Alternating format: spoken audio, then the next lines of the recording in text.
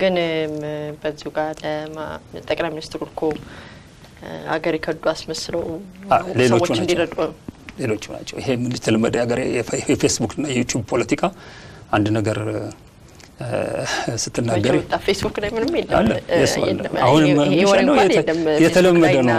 አሁን አሁን አሁን እናንቺ የምናደርጋቸውን ውይይቶች በማስታወቂያ ደረጃ ሲወጣ ይህ ሁሉ ሰዓት ካደረግነው ውይይት አንዱን የህዝብ ስሜት ይቀሰቅሳል፣ ይኮረኩራል የምትለዋን አንድ አረፍተ ነገር ለጥፈሽ እንደምታወጪ አውቃለሁ። በዛ መንገድ ነው የሚሄድ ያለው የሀገሩ ፖለቲካ። ስለዚህ በዛ መንገድ የቀረበ ነገር የለም። ያደረጉት ያደረገውም ነገር የለም። አገሩን በሚመለከት አገሩ እንዲቀየር በህዝብ ላይ የሚሰራ በደልና ግፍ እንዲቆም ያደረጋቸው ነገሮች አሉ። መልካም እንግዲህ ሁለቱ ሀገሮች ወደ እርቅ መጡ። ሞት የሌለበት ጦርነት የነበረበት ጉዳይ ነበር። የሁለቱ ሀገሮች ጉዳይ በጣም የሚያስፈራ አሳሳቢ፣ መቼ ለይለት የማይታወቅ ሞት የለበትም፣ ተኩስ የለበትም። ግን ደግሞ በጣም በጣም ሰቅጣጭ ሁኔታ የነበረበት ቤተሰብ ግማሹ እዚህ ቀርቶ ግማሹ እዚያ የሄደበት ሁኔታ ነበረ። በእርቅ ተደመደመ። በጣም አስደናቂም ነበረ። ነገር ግን እንደ ሀገር ምንድን ነው የፈየደው? መቼም ሁለቱ ሀገሮች በውድም ሆነ በግድም ሆነ በፍላጎትም ሆነ ተለያይተው ኤርትራም ሉዓላዊ ሀገር ናት፣ ኢትዮጵያም እንደዛው።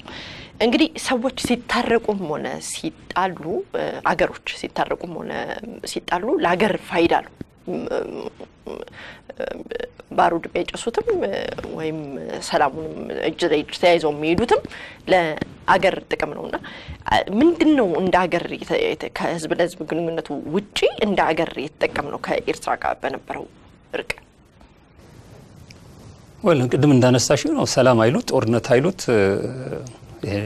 no peace no war አይነት situation ውስጥ አገሪቷ ሁለቱም ሀገሮች ተፋጠው የተቀመጡበት ሁኔታ በመቆሙ የተነሳ just የሚፈጠር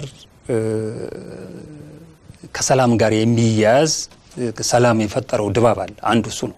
ሁለተኛ በዛ በድንበር ላይ በዛ ደረጃ የተከማቸ ሰራዊት አስቀምጦ መቀለብና ማብላት በኮስት ደረጃ በአንድ ድሀ በሆኑ ሀገሮች ላይ የሚያመጣው ከፍተኛ ጉዳት አለ። እሱን አስቀርቷል ያለው በተወሰነ ደረጃ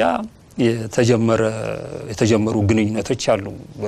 መጀመሪያ ተጀምሮ የነበረው በድንበር በኩል ያለው የሰው የእቃ የምናምን ነገር የቆመበት ሁኔታ ቢፈጠርም በአይሮፕላን ደረጃ ሰዎች ከአንዱ ሀገር ወደ አንዱ ሀገር የሚንቀሳቀሱበት ሁኔታ ፈጥሯል ያለው ኢትዮጵያውያን ወደ ኤርትራ ሄደው መጎብኘት የሚችሉበትን ሁኔታ ፈጥሯል ያለው። ኤርትራውያንም በተለይ በውጭ ያሉት ዲያስፖራ ያሉ ኤርትራውያን በብዛት ጉዟቸውን በኢትዮጵያ airlines በኩል አድርገው ወደ በሌላ airlines አይሄዱም። in fact እንዳለ እንደውም ኢትዮጵያ airlines ከፍተኛ ጥቅም ያገኘበት የኤርትራ ዲያስፖራ ወደ ኤርትራ የሚሄድበትን የጉዞ መስመር አመቻችቷል። of course ትልልቆቹ ሰፊ የሆነ ኢኮኖሚ የማህበራዊ እንቅስቃሴ ከወደብ አጠቃቀም ጋር ተያይዞ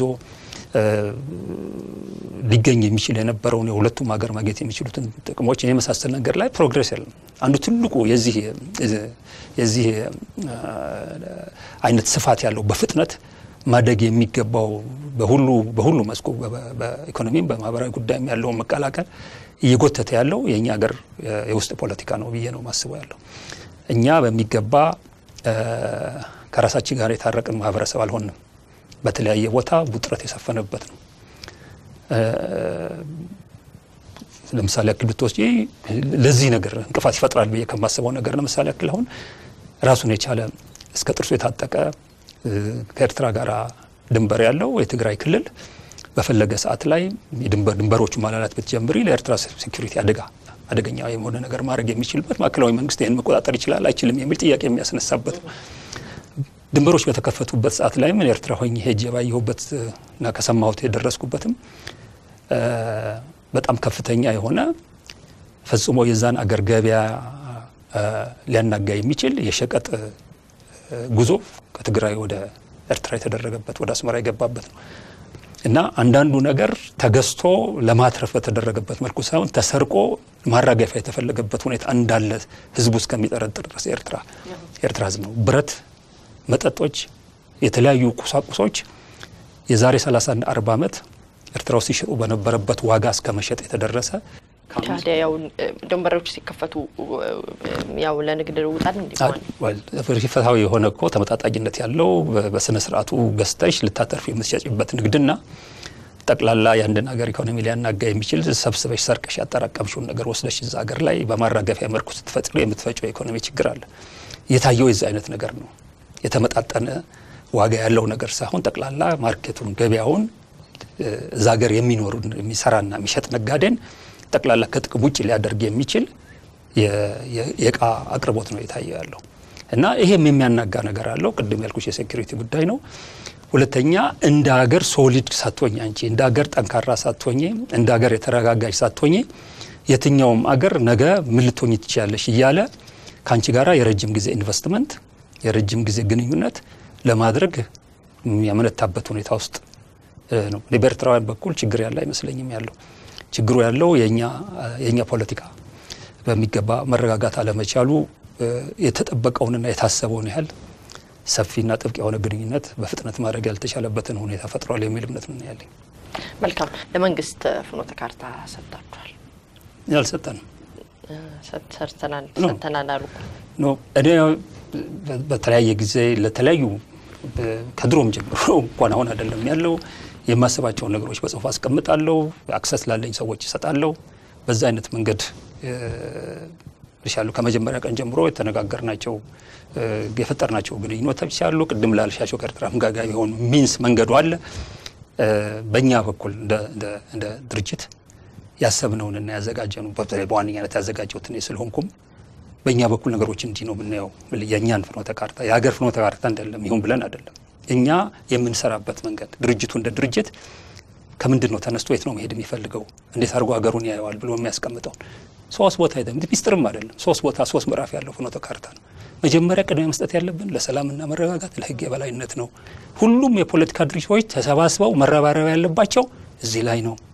ቀጥሎ ባለው ምዕራፍ እነዚህ መልክ ከያዙ በኋላ ወደ ዴሞክራሲያዊ ምርጫ የሚወስዱንን ተቋማት የመገንባትና ለዲሞክራሲ የሚሆን ባህል መገንባት ነው።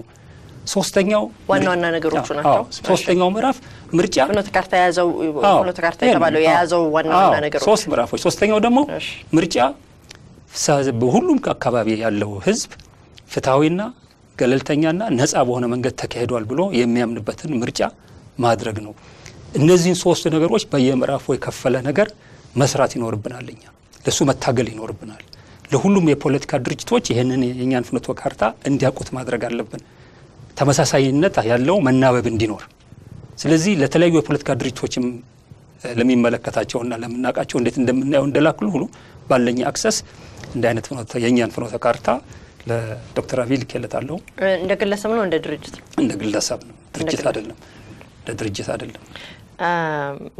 እንደ ግለሰብ ከሆነ እንግዲህ እርስዎ አንድ ግለሰብ ኖት፣ በህዝብም አልተመረጡም።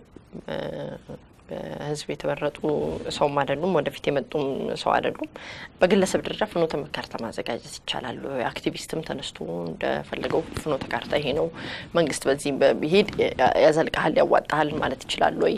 ሌላም የፖለቲካ ፓርቲም እንደዚሁ የመንግስትን ሁኔታ ጥንካሬ፣ አቋሙን፣ አጥንቱንስ ድረስ አይፈታተነውም ወይ? መንግስት ራሱ በራሱ የሚወጣበት ይውጣ እንጂ ለምን ፍኖተ ካርታ ማንም ሰው እየሳለ ይሰጠዋል? አንደኛ ነገር ነገርኩሻለሁ ይሄ የእኛ እንደ organization እንደ ድርጅት አርበኞች ግንቦት ሰባት ምንድን ነው መሆን ያለበት የእኛ ፍኖተ ካርታ?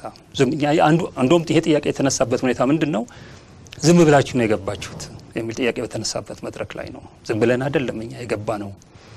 መጀመሪያ የሀገሪቷን ሁኔታ ከስልሳ ገጾች በላይ ባለው መንገድ ተንትን ይሄ ለውጥ ምን አይነት ለውጥ ሊሆን ይችላል?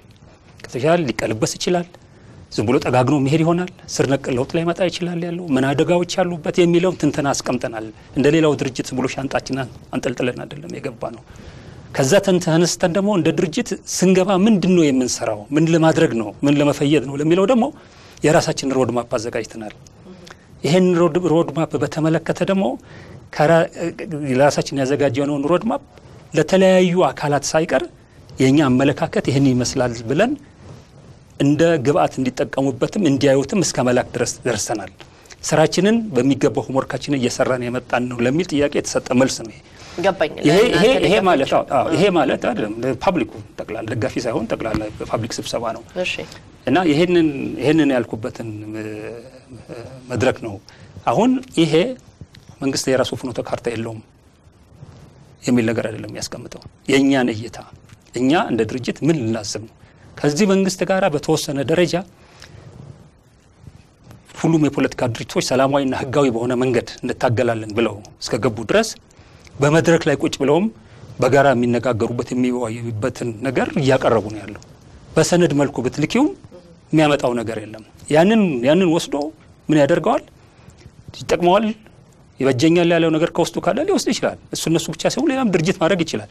አይ የእኛ ፍኖተ ካርታ የራሳችን አለ፣ ብዙ ውስጥ የተካተቱት ሀሳቦች እዛ ውስጥም አሉ። ስለዚህ ይህንን ጉዳይ አንፈልገውም ሊል ይችላል። በዛ አይነት መንገድ የሚመጣ መልስም አቶ አንዳርጋቸው ይቅርታ አድርጉልኝ ነው። ነገር ግን እንግዲህ ህገ መንግስቱ እስከ ዛሬ ድረስ የሚወቀስበት ይጥፋ ይጥፋልን እንዳናየው የሚባለው ህገ መንግስቱ እኛ የተወያየንበት አይደለም። የጥቂት ሰዎች ምሁራኖች ብቻ እንደ ልባቸው ያረቀቁት ነው እንጂ በህዝብ ደረጃ ወርዶ እንዲደረግ እንዲደረግ የሚል ነገር ያልተደረገበት ነው ነው እስከ ዛሬ ድረስ ህገ መንግስቱ ላይ ቅሬታ ሲነሳ የሚነሳው። ይህም ፍኖተ ካርታ ከተሰራና ከተሳለ ግልጸኛ የሆነ ድብቅ ያልሆነ ሰዎች በሙሉ ወጥተው የሚወያዩበት የሚተማመኑበት ሌሎች የፖለቲካ ፓርቲዎችም የተስማሙበት ነው እንጂ እርስዎ ሰርተው በዚህ መንገድ ብትሄድ ነው የሚያዋጣ ብለው የሚልኩለት ነው ወይ ለመንግስት? ምን መሰለሽ እኮ በጣም ቀላል እኮ ነው። ዛሬም አሁን የዚህን ሀገሪቷን ሁኔታ ጠቅላላ አሁን የማያቸውን ነገሮች በሙሉ በደንበኛ በስነ ስርዓቱ በሀያም በሰላሳም ገጽ ጽፌ ለሚመለከታቸው የመንግስት አካላት ልበትነው እችላለሁኝ ያለው ማንም አይከለክለኝም ያለው access እስካለኝ ድረስ። ምክንያቱም ይጠቅማል እንጂ የሚጎዳ ነገር የለውም ያለው በዛ በዛ በዛ መንፈስ ነው የምትሰሩ ያለው። access ከሌለሽ እንደውም ጉዳት ነው የሚኖር ያለው። ከዚህ ውጭ እኮ ሌሎች አማካሪዎች አሉ። በስነ ስርዓቱ አገሪቷ ወዴት እንድትሄድ በምን መንገድ ትንቀሳቀስ በምን መንገድ ትራመድ የሚለውን ነገር በስነ ስርዓቱ ቁጭ ብለው በተለያዩ መስኮች ጠቅላይ ሚኒስትሩን የሚያማክሩ ሀገር ውስጥ ያሉ ከሀገር ውጭ ያምሹር የመጡ የተለያዩ አማካሪዎች አሉ። አንድ አንቺ በምትልኪው ነገር dictate የሚደረግና እንደ ህገ መንግስት አድርገሽ የምታቀርቢው እዚህ አንድ organization የሚያየው ነገር ነው። ለመንግስት ጠቀመ ወይ? መንግስትስ ምን ወሰደ? ከእርስዎ ፍኖተ ካርታ የሚድንበት ነገር ካጋጠመው የወሰደውና ያደረገው ነገር አለ ወይስ ምንም አልሰራበትም? እንደማየው ከሆነ ተመሳሳይነት የነበረው አመለካከት ያለ ነው የሚመስለኝ። አሁንም እየተሄደበት ያለውን ነገር ስንመለከት ፓርቲዎች ተሰባስበው በተረጋጋ ሁኔታ ምንድን ነው የምትይው የስነ ምግባር ደንብ ፈርመው በህዝብ ፊት አድርገውት ቢያጠፉ መንግስትም ይሁን የፖለቲካ ድርጅቶች የሚጠየቁበት ሁኔታ የፈጠረ አይነት ስምምነት ላይ መድረስ ምናምን አለበት የሚል ከህዝብ ጀርባ ሳይሆን በህዝብ ፊት መሆን አለበት የሚል እንደዚህ አይነት ነገሮች የተቀመጠበት ፍኖተ ካርታ ነው። ይሄንን ሌሎችም ድርጅቶች ይሄንን ፍኖተ ካርታ ያላዩትም ስብሰባ ላይ propose ያደረጉት ነገር ነው። መንግስትም እንዲህ አይነቱን ነገር already ያሰበበት ነገር ነው። ከዚህ ውስጥ ምን ከዛ ውስጥ ምን ነገር ተወስዷል ብትይ እየተደረገ ያሉ ነገሮች በሙሉ ፓርቲዎቹ በውይይታቸው ያነሷቸው ነገር አሁን እኮ ገልጬልሻለሁ። ምዕራፍ አንድ ሰላምና መረጋጋት፣ የህግ የበላይነት ይኖር ይህንን አሁን ትልቅ በአሁን ስልጣን ላይ ያሉ ሰዎች ወይ የተለያዩ ፖለቲካ ድርጅቶች የማያስቡት ጉዳይ ረቂቅ የሆነ እነሱን አቅጣጫ ሊያሳጥፍ የሚችል ነገር ነው። የምዕራፍ አንዱ ነገር ይሄ ነው። የምዕራፍ ሁለት ነገር ቅድም ያልኩሽ ነው። ሰላም መረጋጋት ከተፈጠረ በኋላ ለምርጫ የሚሆኑትን ተቋማት የመገንባትን ጉዳይ ነው። ምርጫ ቦርድን ነጻ የማድረግ ሚዲያዎችን ነጻ የማድረግ ሌሎችን ተቋማት በዚህ ደረጃ አድርጎ ለምርጫ የሚሆን ደግሞ በተቃዋሚዎች መካከል ሰላማዊና የሰለጠነ የውይይት ባህል እንዲዳበር አድርጎ ለምርጫው የሚዘግ ሶስተኛው ምዕራፍ ላይ ከቁሳቁሶች ጋራ ከአቅርቦት ጋራ ከምዝገባ ጋራ በኋላ ጭቅጭቅ ሊያስነሱ ከሚችሉ ጉዳዮች ጋራ። እነዚህ ነገሮች ስላልተሟሉ ወይ የመረጭ የመራጭ ስም በደንብ አልተመዘገበም፣ የመምረጫ ካርድ አልደረሰንም እንዳይባል ከሎጂስቲክ ጋር የተያያዘውን ከሚዲያ access ጋር የተያያዘውን እኛ እድል ሳይሰጠን ቀረን ምናምን የሚለው ነገር መልክ የሚይዙበት ሶስተኛ ምዕራፍ ላይ አድርጎ ወደ ምርጫ የሚሄድበትን ሁኔታ ነው እኛ በዚህ ሀገር ላይ አሁን ተራ በተራ ሊካሄዱ ይገባል ብለን የምናስባቸው የሚል ፍኖተ ካርታ ነው። ይሄ ፍኖተ ካርታ አንድ ተራ ሰው ሀገሪቷን ቁጭ ብሎ የሚመለከት ሰው ድምልሽ ያለው የተወሰነ የመጻፍና የመመርመር አቅም ያለው ሰው ሊያደርገው የሚችል እንኳን ከፍተኛ የፖለቲካ ብቃት ያላቸው የእኛ እይታ ምንድን ነው ነው በቃልም ቢሆን የምናገረው ይህንኑ ነው። በቃል ምንድን ነው የምታስቡት ብትይ ቢለኝ ዶክተር አብይ እኛ የምናስበው በዚህ መንገድ በዚህ መንገድ በዚህ መንገድ መሄድ ይቻላል። ያንን በጽሁፍ መስጠትና በቃል መናገር ልዩነት የለውም። በዚህ ደረጃ ማየት ትልቅ ሰነድ ሚስጥራዊ የሆነ ሰነድ ህገ መንግስት የሚሆን ሰነድ ግራ ትንሽ የገባኝ ይሄ የመንግስት ነገር በግለሰቦች የሚዘወር ከሆነ ችግር አይሆንም ወይ? ግለሰቦች ይሄ ነው ፍኖተ ካርታ ብለው እየሳሉ የሚሰጡ ከሆነ አክቲቪስቶችም ተነስተው ይሄ ፍኖተ ካርታ ነው ው በዚህ ነው ታዲያ ሰው ጠቅላይ ሚኒስትር ለመሆን ለምን ይወዳደራል? ታዲያ ፍኖተ ካርታ እኮ በደንብ ማወቅ ያለብሽ ያለው ኢህአዴግ የሚባል ድርጅት ይመራው ዶክተር አብይ ቶሻል ከተለያዩ የፖለቲካ ድርጅቶች ሰዎች ጋር በየጊዜው ይገናኛል። የተለያዩ የፖለቲካ ድርጅቶች የሚያምኑበትን ነገር ይነግሩታል። ድርጅቱ ያስቀመጠው ከየት ተነስተን የት እንሄዳለን የሚል የራሱ መስመር አለው። እነዛን ነገሮች ከተለያየ ቦታ የሚሰሙት ከግብአት በግብአትነት ከመጠቀም አልፎ ዝም ብሎ ምናምን ነገር የሆነ ሰው ጽፎ ስለሰጠ ወይ ስለተናገረ በዚህ መንገድ ዲክቴትድ ሆኖ የሚሄድ እንደዚህ ዝም ብሎ ወገብ የሌለው የሚል መጠመጥ አይነት ድርጅትና መሪ አድርገሽ የምታቀርቢ ከሆነ አንቺ ነሽ የምትሳሳቸው። ጭራሹኑ ለእንደዚህ አይነት ነገር እንደውም ጎንበስ የማይሉ ሰዎች ናቸው ዶክተር አብይ እስከማየው ድረስ የሚያምኑበትን የሚፈጽሙ ሰዎች ናቸው።